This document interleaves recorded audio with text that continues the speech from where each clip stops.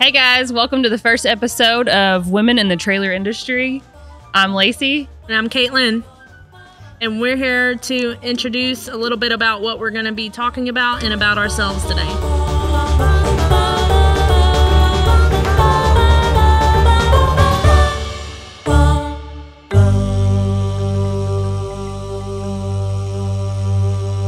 All right, today we're going to be talking about uh, who are we? How did we get here? And what do we do? And What did we do before this? What led us here?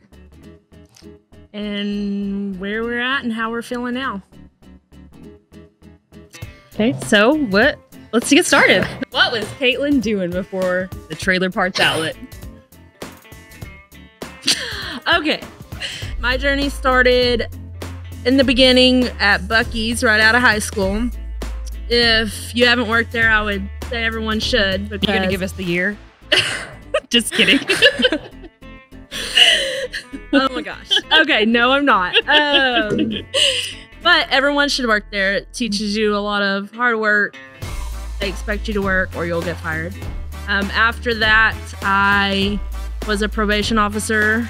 After that, I owned my own business named Sweet Treat. Uh, it was a frozen yogurt, frozen yogurt shop, In Madisonville? and it went well. And then I saw a listing for a customer service position with TK Trailer Parts in the Trailer Parts Outlet, um, and went and met Tyler. Um, he hired me. I started. I actually quit three days later um, because I wasn't going to put up with all the shit. This is crazy. um, but I knew that he was growing something great, so um, I came back and I, I want to know what you like. What was your position that you were hired on for? I was hired on for customer service and sales. Um, it was a lot of mainly Tyler's assistant of mouse clicking at the beginning. But like, how many people actually were hired, like on staff, whenever you got hired?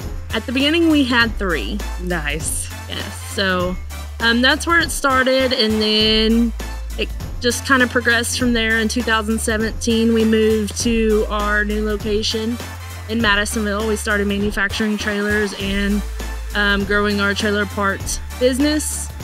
And we, since then, we've hit the Inc. 5,000 four times, I Yeah, believe. four times. And here we are. So tell me a little bit about where you started, where But you wait, came first. So you started out just basically helping him organize this business. And while it was growing crazy, like trying to figure out simple stuff like how are we going to get these parts? Where are we going to list this at? Um, at that point, were we did we have a website? Mm, I think we had a few buttons that said buy now, but that's about it. And then we listed on eBay. And Tyler did those listings on eBay himself, didn't he? Yes.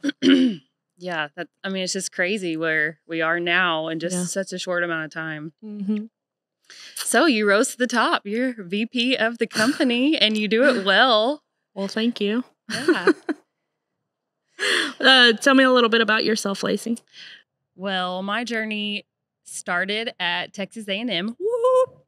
And um You I would. got I got, got my bachelor's degree in agricultural uh, communications. And then I got my master's degree because um, I didn't want to get a job yet. So I just went right into my master's degree. Um, and I got a master's in agricultural leadership and education and communications. Uh, my emphasis was on social media in the business place. So, when you were in school, what did you think you were going to be doing with that degree? So honestly, I thought I was going to be handling and managing people's Facebook accounts. When I got into the industry, I realized I really hated doing that. it was awful to me. I mean, people do it really well if they're like on top of it, but it's so like trending and quick moving and so is business too but you just have to be in the know on all the new trends and that's just not me um also just a lot of advertising and knowing which space to put your marketing in and I just realized that I was better at doing the more technical side of listing stuff. But it's kind of funny because my very first job out of college, I worked at a daycare um, while I was in college for like seven years. I loved it, but you know, you get tired of that. Yeah. Way to go, teachers all over the US. It's so hard. You don't get recognition enough. But um, so I my first job was from a Craigslist listing, and it was for a camping company called Camping Max. They're based out of College Station. They sell um, online retail and camping equipment, um, mostly high end stuff. so, started with um, it was a small business, mom and pop business.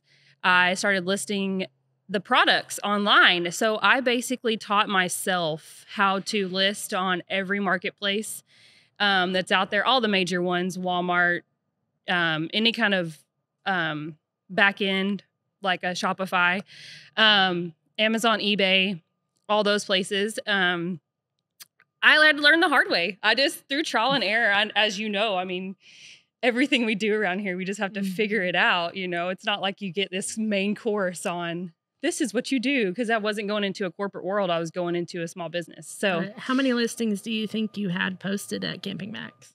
um, it was a multiple thousand, um, but it was a long process. One of the biggest, I guess, gifts that I got out of it was to learn how to um, navigate new contracts with new marketplaces. So, like an Amazon, you can just jump on, create an account, right? And if you have an EIN, you can start listing.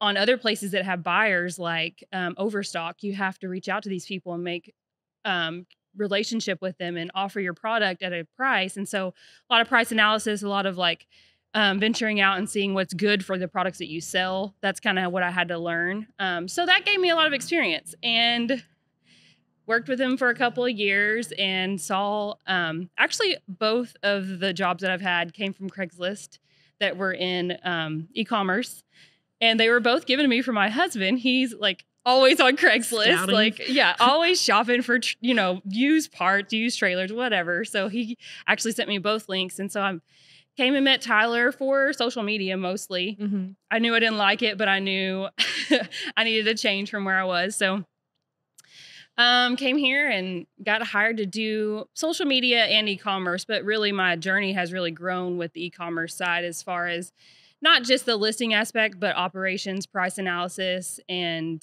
um, just really dipping into every single thing that goes into that. And that's Sure. where I am today. Some topics I want to go over are just the stresses in the workplace, um, some things we've experienced lately, trying to grow, trying to hit our our goals, and staying up late with this fourth quarter has been and- crazy, crazy. Yeah. Yep, and then wondering how you're going to function the next day. Um, how you keep just working and working and there's not enough hours in the day and then you just put your your face in the ground, and your kid does it with you, and you're like, all right, yeah your kids are like you know banging off on the walls in the background and you're just trying to work through it. I just love it that like every single time that my kids can be totally quiet in the house and every time i need to get on a call it's like the whole house erupts and i'm like Yes. running from room to room away from them and they're all following me like crying hitting each other like but won't leave me alone or you just go outside and Or that, yeah. themselves inside. So as long as they're inside they you know they're Yeah. good yeah no, I but pull the Christmas tree down or anything. yeah yeah know? baby Um, gates yeah for sure. And then, but we're fortunate enough to have some flexibility here um, Absolutely. at the Trailer Parts Outlet. And um, if we need to get some things taken care of, we can, yeah and then come back to the grind. So, And another good thing that about us is, you know, there there for us is there's no set work schedule, right? So like it could be 5 a.m. or it could be midnight or it could be eight to five. yes. It's just kind of like if a job needs to get done, everybody here I feel like figures out a way to get it done. I definitely do. And I, I appreciate the teamwork here. And I'm sure Tyler does as well. And it's refreshing to have a group of individuals like we do that are passionate enough to put in those hours and do those things and sacrifice what some would say family time to Yeah. um Kiefer is I'm crazy. lost. I'm sorry. Our content director distracted us, but yeah, The executive Okay. producer needs to some leave help. the room. um, but anyways, what some would say would be family time, and you know that takes us to our other topics of the balance of family and work, and not being able to take a vacation without thinking Yeah. about work, and How do you All that involved, so- yeah. um, Um, I want to talk to you about a little bit about like some things that we have found that works for us as far as leadership goes. Um, what what are we kind of quantify as being like success factors um, as far as leadership? I mean, you can take so many seminars on leadership, right? But I, I feel like in every industry, the things that are going to motivate and the things that are going to push and constructively change something that's going wrong maybe change like it's all different yes, and uh i mean and it actually goes into when we did our we recently did a like a personality quiz to see kind of like how how you respond to different things and how others respond to you in those situations and it Mhm. was really interesting to figure out yeah, I just wouldn't have thought about that, you know, in those ways. I really kind of loathe those kinds of questionnaires because I'm like, how does a questionnaire really know me? But it, it does bring to light a lot of different things. But I feel like we could hit on the, t- that too, you know, talk about that kind of stuff.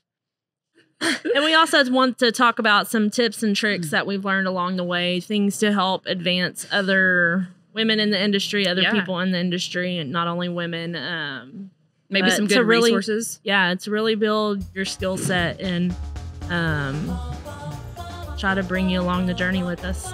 What do you want to dive into in the next episode?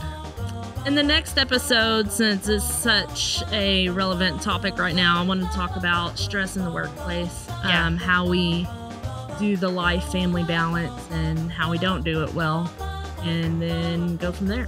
Yeah, let's do it. So, Lacey, where can they find us at? Uh, anywhere you stream your your uh, podcast, Spotify, Apple coming soon, um, YouTube. I don't know if YouTube and podcast go together, but I just said it. Um, and I'm sure the video will be on there. Yeah, I'm sure. Um, Kiefer will get the video up for us. Uh, yeah, so y'all, you ready to do this? Yeah well, we'll see you on the next episode. Stay classy, ladies. Stay classy and stay sassy. yeah. Classy and sassy.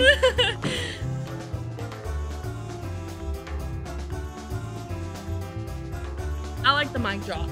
I do too. Spicy in your spicy. What? What? I'm surprised she ain't What? Uh, uh, over here. her six years.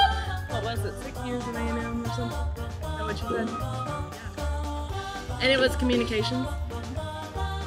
It explains a lot because Wait, no. I mean, we. I think it's just. I mean, I mean, I really do think.